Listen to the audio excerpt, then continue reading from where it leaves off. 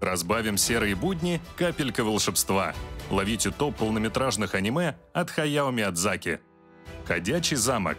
Однажды юную девушку по имени Софи гадкая ведьма пустоши превращает в дряхлую старуху. Героине ничего не остается, как бежать из города. В горах она натыкается на ходячий замок, о котором ходят самые противоречивые слухи. Говорят, его владелец пожирает сердца юных красавиц. Но решив, что сердце старой развалины колдуну будет ни к чему, Софи входит в замок.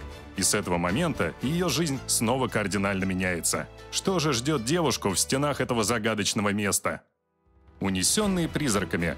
В поисках нужного адреса семья юной Тихиро сворачивает не туда и случайно натыкается на якобы заброшенный парк развлечений. На самом деле они оказываются в мире духов, которые совсем не рады непрошенным гостям. Родители Тихиро превращают в свиней, а девочку отправляют драить купальни. В этой непростой ситуации ей поможет таинственный юноша по имени Хаку. Но почему Тихиро кажется, что они уже знакомы?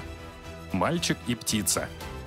Потеряв в пожаре самого дорогого человека, маму, юный Махита переезжает с отцом старый дом в деревне, с которым явно что-то не так. Там мальчик сталкивается с говорящей цаплей, утверждающей, что она может отвезти его к матери. Нужно только лишь следовать за ней. Подозрительно. Но несмотря на это, Махита все равно соглашается. Ведь что если он действительно сможет встретиться с мамой?